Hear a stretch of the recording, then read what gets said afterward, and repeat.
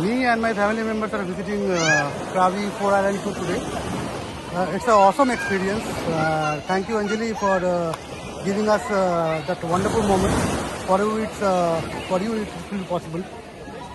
Thank you Nitsa and thank you Anjali. All the best. Thank you. Thank you so much.